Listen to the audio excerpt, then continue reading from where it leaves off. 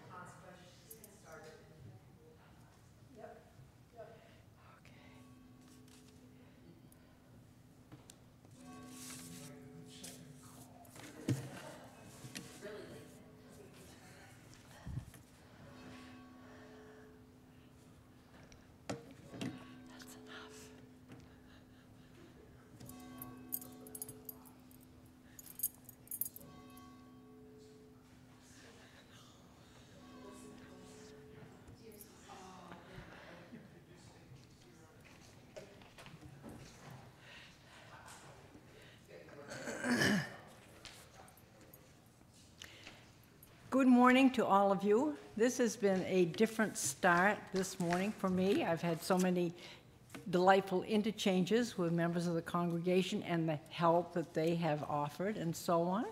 And I was just going to talk about the announcements per se. Thank you to the Ho- uh, Coffee Hour ho- hosts, Anna Quattrucci and Erin uh, Niehoff, and Nancy Legassi for greeting. We're very appreciative for all the interaction that we get from our members. And today, if, forget the birthday month, forget it uh, for a minute. Anyway, heat may be a problem, so if you need to leave your jacket. It's come on. It's come on. Heat it will not be a problem. We're all, we're all, we're all fired up inside. It'll be warm by the time we leave. yes, thank you. And one thing I want to mention uh, when we listen to the prelude, just let's take time to be at peace here, to take time to just reflect a little bit and prepare ourselves for worship. That would be delightful. And then there, uh, I have several other announcements, and one lastly. Uh, Erin announced. Today we celebrate the October birthdays Reverend Kim, Sidney Farr, Josh Bernard, Mike Stiletta, Steve Russell, and Marge Burgess. Someone forgot somebody. Inconsequential. They're trying, they're trying to get me, get, get me going. Anyway, yes, we are all Librans together and we share certain qualities. I won't get into them, but anyway, we do. And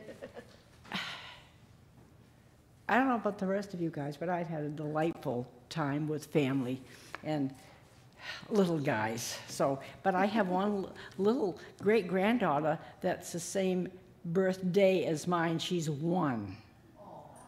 She's one year old and she's a button, but her sister's a button. Her sister is Tiddlywinks one. She's Tiddlywinks two. I name I name all our, I name our children. I'm not nice anyway. Uh, but I, I try to have fun with, with everybody. And then uh, I've read the birthdays and I've read the announcements, and there are two meetings this week. On, when, on Thursday at 5 o'clock, the deacons will be meeting here, and at 6 o'clock, the council will be meeting. And I know, as far as the deacons are concerned, we have many things to discuss and and pull together because we like to represent all of us well. So now,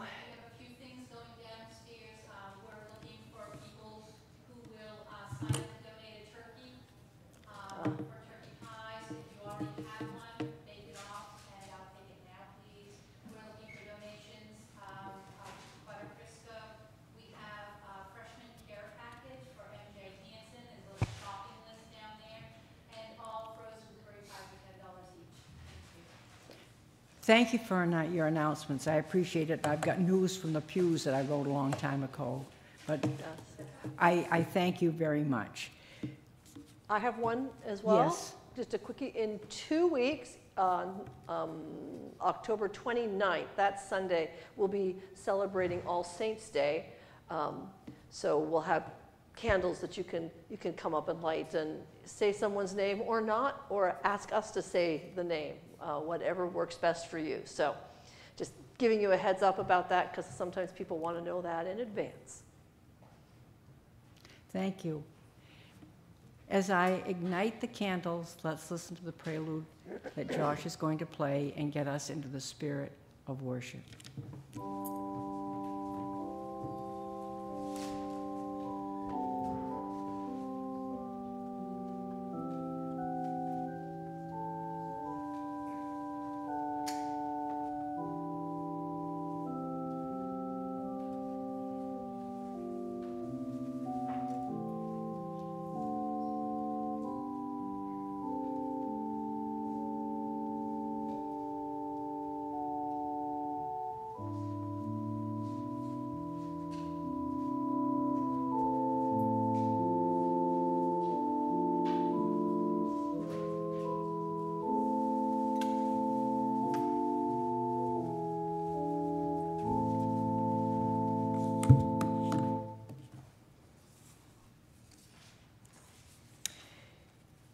Me, please, to the, and the call to worship.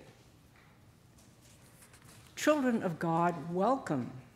Welcome to this place of love and grace. Welcome to this place of hope and perseverance.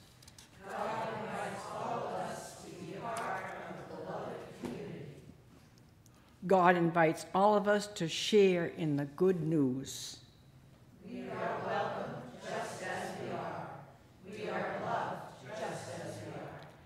In gratitude for all this, let us worship God.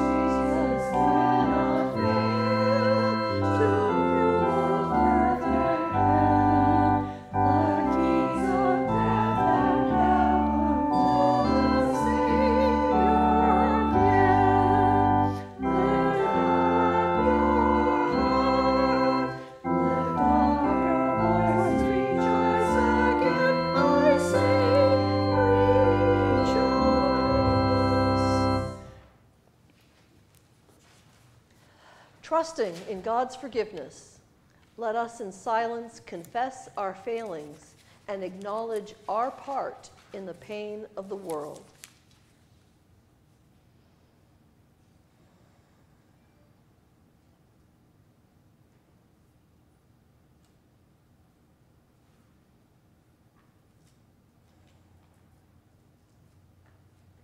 Before God, with the people of God, I confess to turning away from God in the ways I wound my life, the lives of others, and the life of the world. God forgive you. Christ renew you. And the Spirit Amen. Up. Second half. with the people of God, we confess to turning away from God in the ways the lives of others, and the life of the world. May God forgive you, Christ renew you, and the Spirit enable you to grow in love. Amen. Glory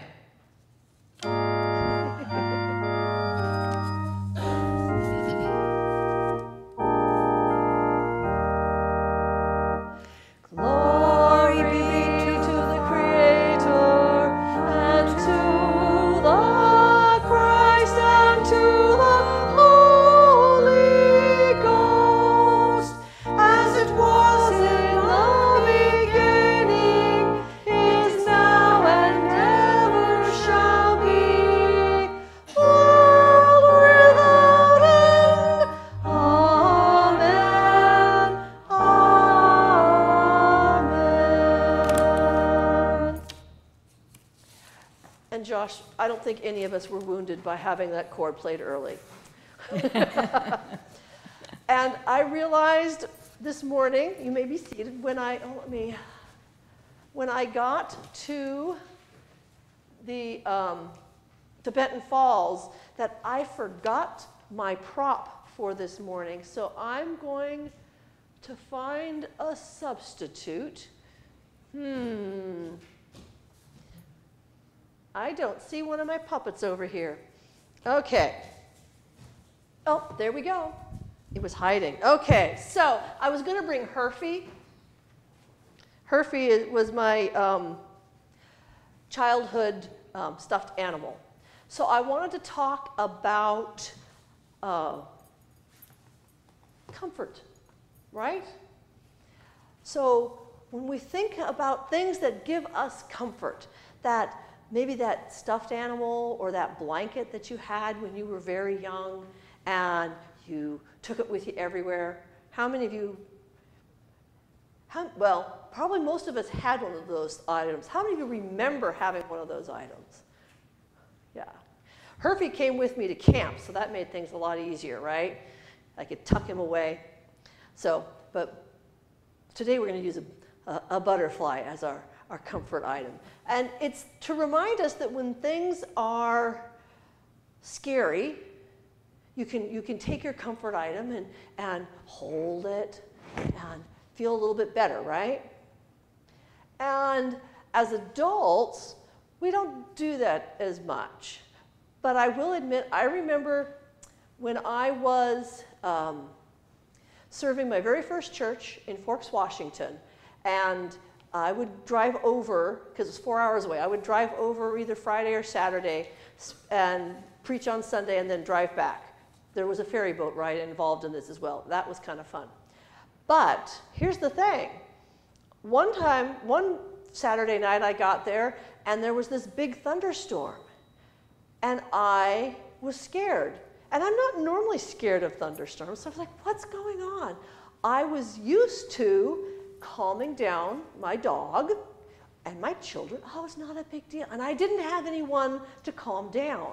And there's something about calming down your dog that keeps you from freaking out about the thunderstorm. I my biggest concern was if it was too much rain, if there was a landslide, I wouldn't be able to get home. We might not have power for worship, those kind of things. But you know, the brain starts spinning. So sometimes you just need something to focus on for comfort. And the psalm for today is one of those psalms. And I thought maybe we should pull it up because I think we all know it. I know it's a little small, but right? The Lord is my shepherd, I shall not want. He makes me lie down in green pastures. He leads me beside still waters. He restores my soul. He leads me in right paths for his name's sake. Even though I walk through the darkest valley, I will fear no evil, for you are with me. Your rod and your staff, they comfort me. You prepare a table before me in the presence of my enemies. You anoint my head with oil. My cup overflows. Surely goodness and mercy shall follow me all the days of my life, and I shall dwell in the house of the Lord my whole life long. Sometimes we just need a little comfort from the scriptures. And as adults, we can understand this and understand that it's also like that comforting object. Because when we were little, when we were babies and toddlers, that comfort object helped connect us to the people who gave it to us and cared for us. And this, this psalm connects us to the, that memory, that idea of God who loves and cares for and comforts us. And I think we need that right now. All right, on to our scriptures. Good morning. The first scripture reading is from Isaiah, and it is the Song of Praise. O Lord, you are my God. I exalt you. I will praise your name. For you have done wonderful things, formed plans of old, faithful and sure. For you have made the city a heap, the fortified city a ruin and a place of foreigners is a city no more. It will never be rebuilt. Therefore, strong peoples will glorify you. Cities of ruthlessness, nations will fear you. For you have been a refuge to the poor, a refuge to the needy in their distress, a shelter from the rainstorm, and a shade from the heat. When the blast of the ruthlessness was like a winter rainstorm, the noise of foreigners like heat in a dry place.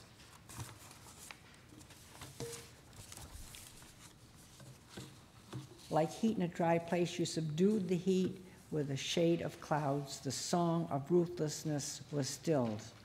On this mountain of the Lord of hosts will make for all people a feast of rich food a feast of well aged wines, of rich food filled with marrow, of well aged wines strained clear. He will destroy on this mountain the shroud that has cast over the peoples, the covering that is spread over all nations. He will swallow up death forever. Then the Lord God will wipe away the tears from all faces and the disgrace of his people will take away from all the earth, for the Lord has spoken. He will be sad on that day. See, this is our God. We have waited for him so that he might save us. This is the Lord for whom we have waited. Let us be glad and rejoice in his salvation. From the second scripture reading, Matthew 22 1 to 14, which is paying taxes to the church. Nope. Yes? I- Nope. No, all the right. parable of the wedding banquet. Whoops, I've got That's next week. whoops, I, oh. Sometimes mistakes are made. I will try to correct my faults. You have not harmed us. Thank you very much. The parable of the wedding banquet. Once more, Jesus spoke to them in parable, saying, The kingdom of heaven may be compared to a king who gave a wedding banquet for his son. He sent his slaves to call those who had been invited to the wedding banquet but would not come.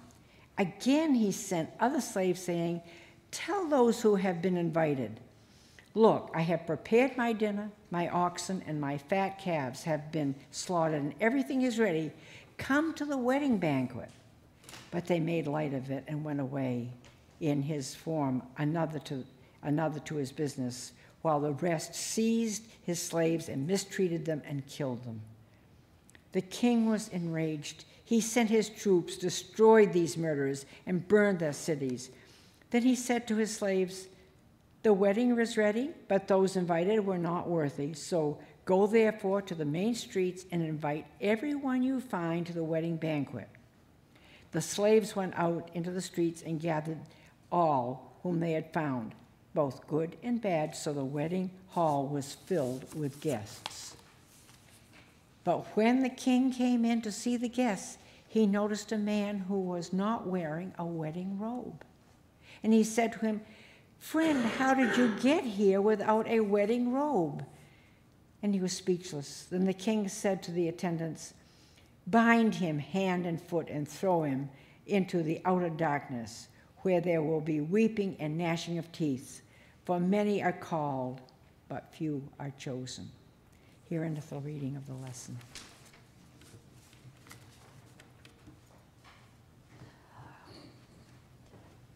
So I assume that this parable is probably not anyone here's favorite parable. it's a challenging parable what, that leaves you going, wait a minute, does this jive with what I know of the character of God? Well, if it doesn't, then what is it doing to shock you and to have you see this from a different perspective? So let's start with the Isaiah passage and this uh, wonderful notion of this fabulous feast that God has set for all the people, privileging the poor and the outcast.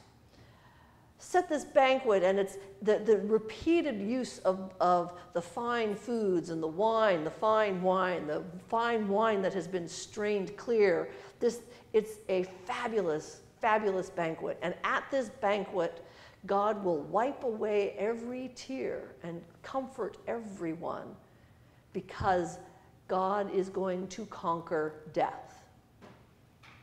You can see how that's a great setup for Christian theology, right? So then we have this passage from Jesus talking about this another parable and this is the last of three parables that we've been looking at, and they're told they're right here in a row. And he's in the temple in Jerusalem as he's telling these parables, and we need to remember who these are geared to. So yes, he's talking to the gathered people, but he's also really talking to the religious authorities in the temple. So when you look at it from that perspective, you've got this king, which we presume is God, because in all the previous ones it was the, the king was God, is show, giving this big banquet, a wedding banquet for the wedding of his son. So this is not a tiny deal, this is a really big deal. And remember, this was an honor shame society, so you've been honored by the invitation. If you don't accept it, you are shaming the person who invited you, and shaming the king is never a good idea. People know this. You don't try to shame your leaders because they have the power and they can kill you. But that's what these people did, right? Whoever the people were, who they said, nope, nope, we're not going to do that. And the king was enraged because they even they didn't just not come. They killed the, the messenger.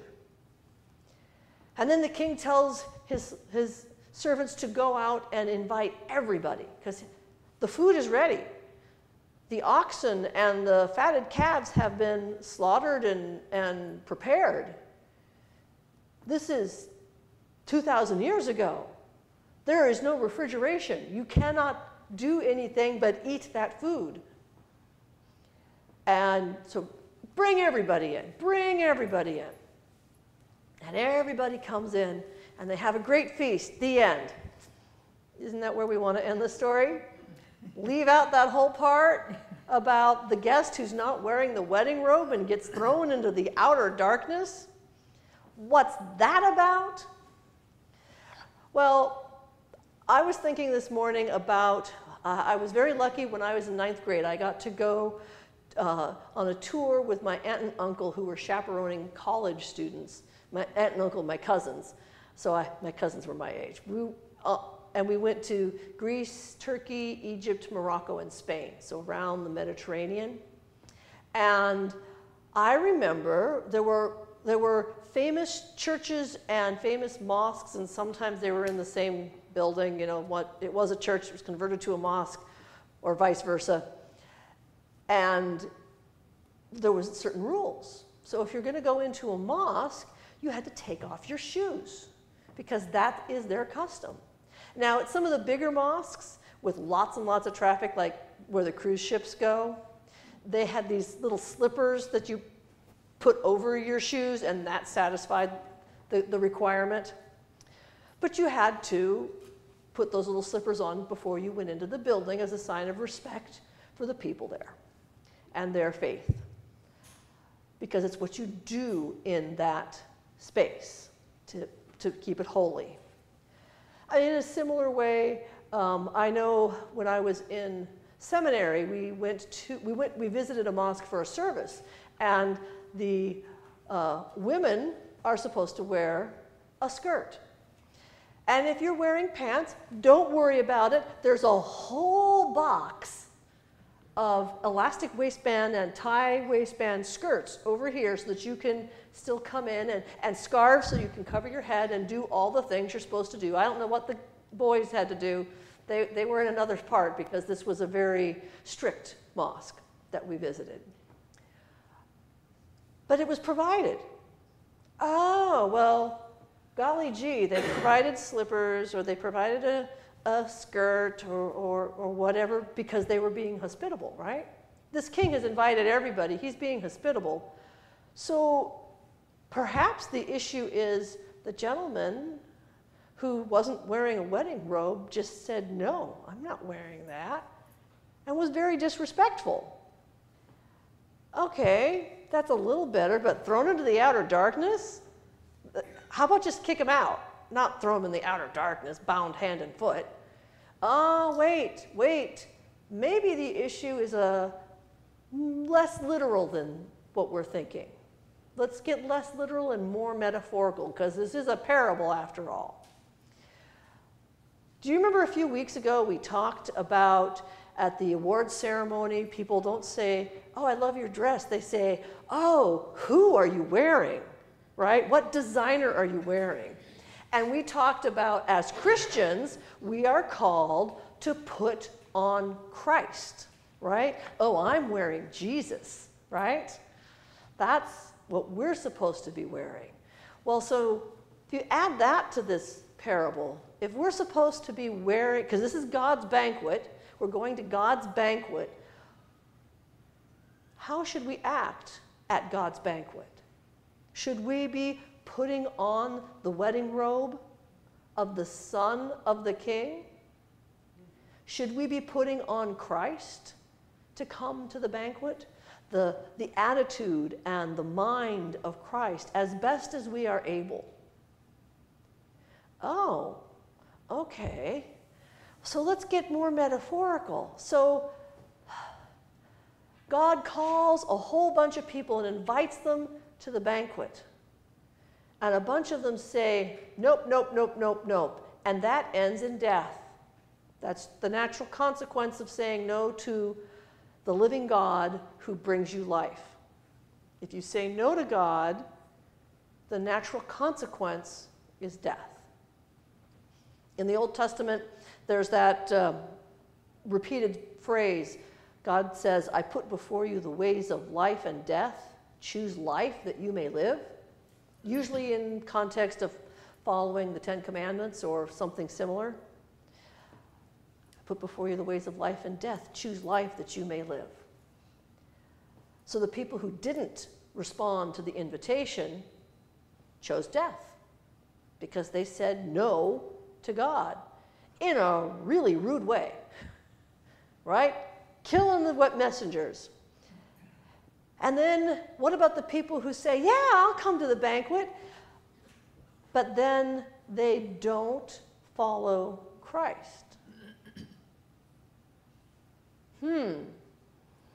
We know Jesus uses this word a lot to describe the religious authorities. What does he use? That, that derogatory term that it still describes them? People who say one thing and do the opposite? What do we call them? Hypocrites. Hypocrites, exactly. So the hypocrites are not wearing the wedding robe.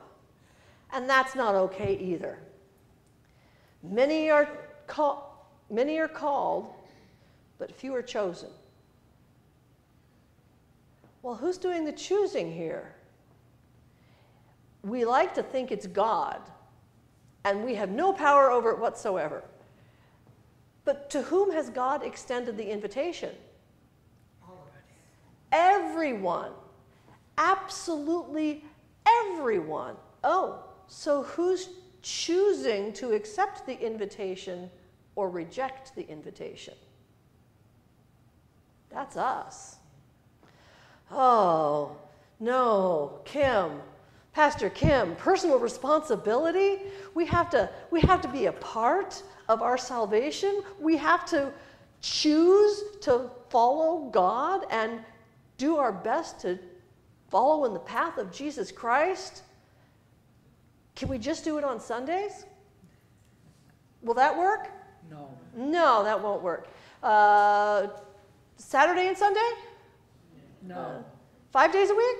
No. Seven days a week? Yes. Yes, yes. We've made a commitment by joining the church, by, by claiming Christ. We've made a commitment, a choice. And we are called to continue to do our best in this world. The best that we can in a world that is full of upheaval and, and where evil shines through way too many ways in way too many places. We are called to follow Jesus. We are called to love. We are called to justice. We are called to peace. We are called to compassion. We are called to be as strong as we can be. And in everything that we do, use the power that we have, however little or great our power is. We are called to use it to serve God, to love God by loving our neighbors, which is everybody. Now, there's the backdrop of this past week, right? And the difficulties of figuring out how do we respond. One thing I at, would re- re- ask all of you to do, um, any friends of yours, even acquaintances you know who are Jewish, reach out to them. They are experiencing such a huge uptick in anti Semitism. Any friends or acquaintances you know who are Muslim, they are also suffering reach out and just let them know hey, I don't even know what to say, but I want you to know that I support your existence. I don't support those who want to wipe either of these people off the face of the earth. That's one concrete thing you can do. To be part of trying to find a way forward. Because we live where we live, and we can do what we can do where we are. And at the same token, we are called in this season, and this is the only time I'm going to talk about it. There's an election coming up, right? We live in a country where we get to vote. That's a power that we have. So look over your ballot think about the different things we're voting on, the people, and put that in your mind following Christ as you cast your ballot. That's a way you can exercise your power for the betterment of the world. So, as we figure out what we can do in our daily lives, in things that happen once a year or, or once a month or whatever, how can we embody Christ, put on the mind of Christ, put on that wedding robe of the Son of God, so that we are choosing to follow God, to love God, to love our neighbors, to love ourselves, to work for peace and justice wherever we can, in whatever tiny ways we can in the world. That's what we're called to do. And I hope And I pray that you will all make that commitment so that we can bring a little bit of the kingdom of God to this place. And I know that you, when you do it, it does happen. You create a thin place, and God is there with you. God is wiping away every tear and laying a banquet for the whole world. We're called to help invite people to the feast and encourage them to accept the invitation. And the main thing that you're accepting is that following the way of Christ. It's not some dogma or some creed, but following that way of Christ. And when we do that, it does change the world. Even if it's just a little bit, it all adds up. And that is the good news. Hallelujah. Amen.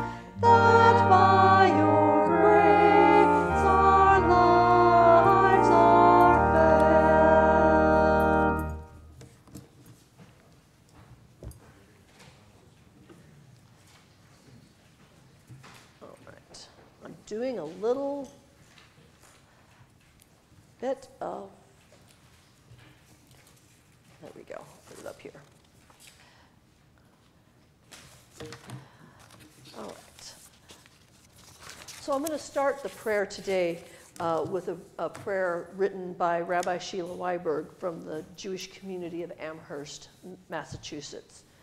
Um, so, giving her credit ahead of time.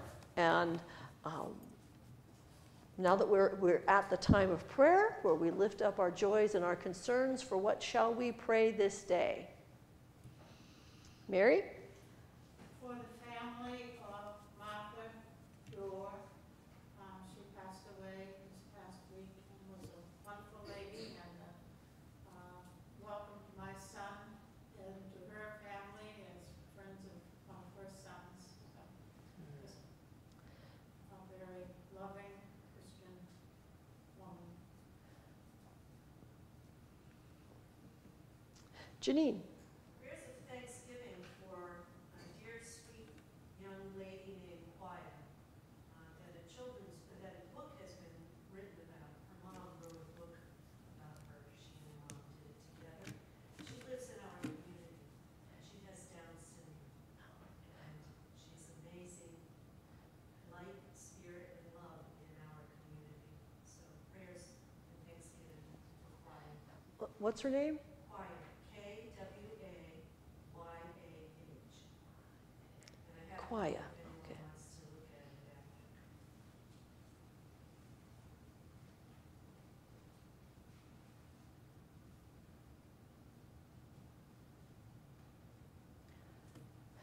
Mary Terrio. Prayers for the family of Sue and Michael Reisinger, Reisinger. Their daughter Kylie was the young lady in Lewiston that got killed in domestic assault a few days ago.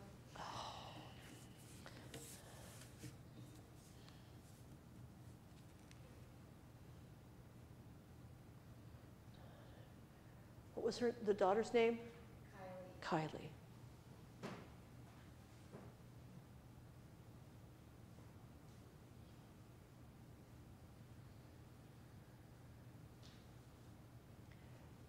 Beth, Um, for all the people in, um, the Middle East suffering right now. Um, And also, um, traveling mercies for our daughter and her friends coming back to the United States from Spain. That's for your daughter's friend Our daughter and her. and her friend. Okay.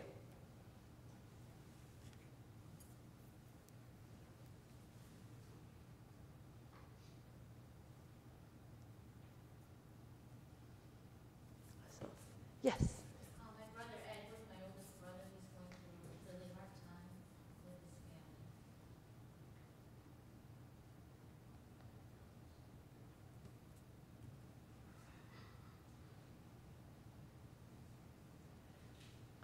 Oh.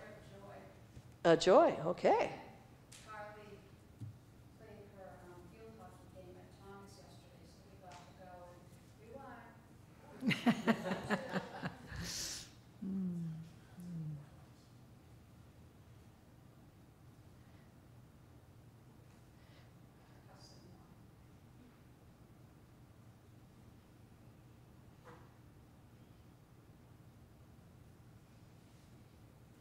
I'm it on the bottom of the page. All right. Let us be a people at prayer.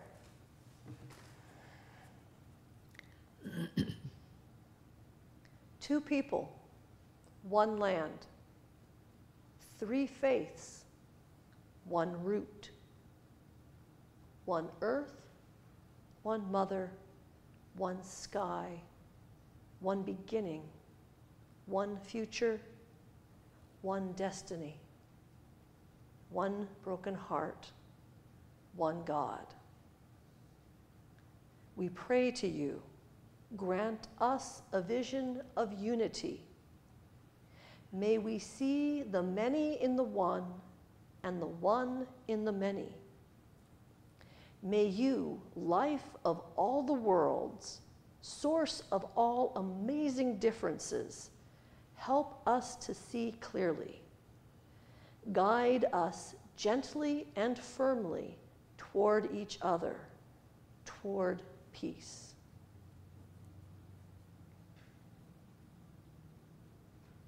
We lift our prayer to you this day, O God, for peace in our world.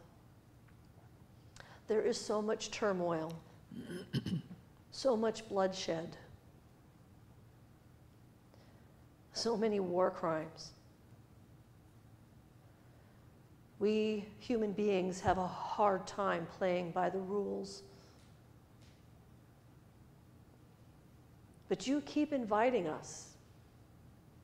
You invite us to the banquet of life, the banquet that can feed us all from your abundance.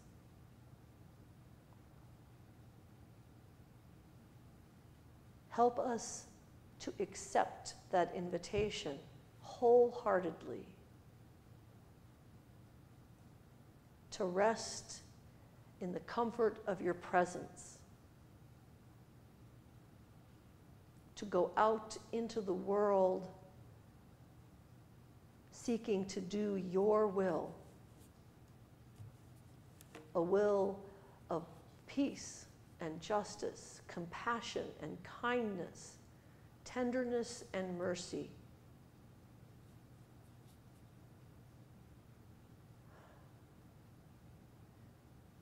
Give us discernment that we may know where the path lies when the terrain gets jumbled and confused and rocky. Help us to focus on your Son, Jesus Christ, on the way he lived his life, the way he died, and the way he rose again.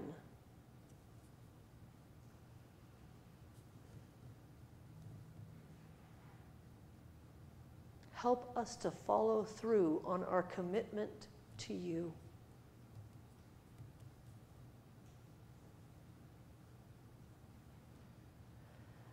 We lift to you this day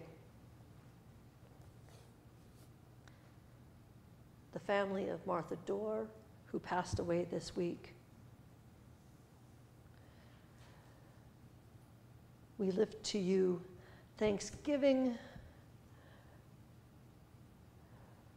for stories about amazing people who are light and love in the world.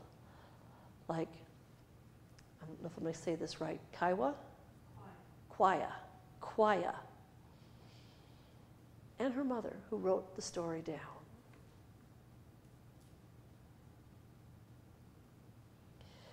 We ask prayers for Sue and Michael Licensure, whose daughter was killed.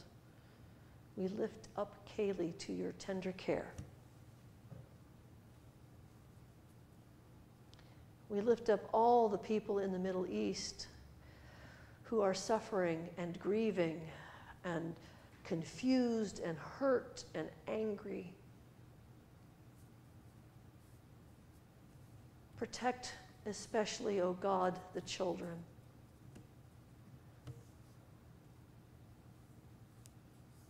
Help wisdom visit all the leaders on all sides so that we can realize as a world that there aren't really sides.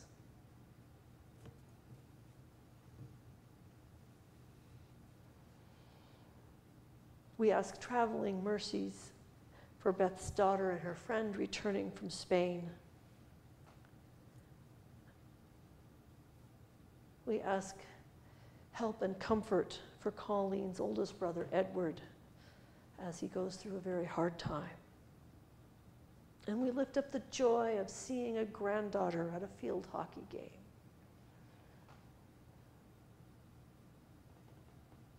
We are thankful for the tender mercies you have given us, O God. And we bring our broken hearts to you, knowing that you seek to mend them, to wipe away every tear. We know this because your commitment runs so deep that you gave us your only Son. And so we pray the prayer that Jesus taught us, saying, Our Father, who art in heaven, hallowed be thy name. Thy kingdom come, thy will be done, on earth as it is in heaven. Give us this day our daily bread, and forgive us our debts as we forgive our debtors. And lead us not into temptation, but deliver us from evil. For thine is the kingdom, and the power, and the glory forever. Amen.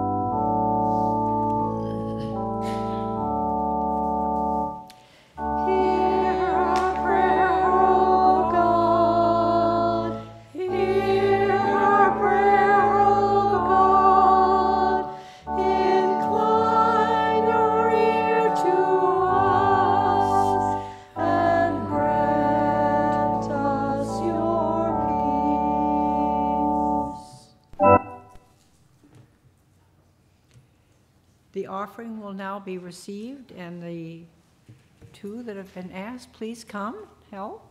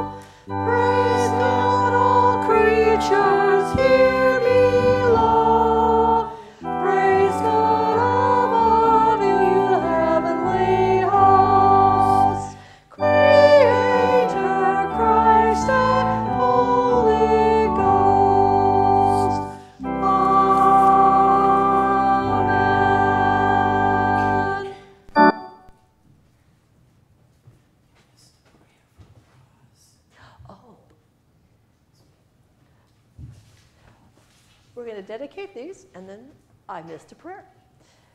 Holy God, we serve, you with, our gifts of money, time, compassion, and prayer.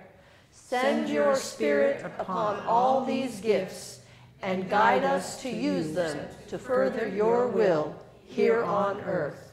Amen.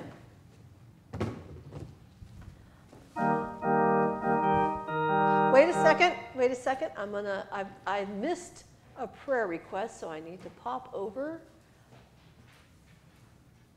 Okay, so uh, Roz asked prayers for Ronnie to have good results from this week's testing of great import. Uh, and, and Anna and Nancy, we both pray that our dear friend June has a comforting guide on her journey to heaven. Oh God, hear our prayer.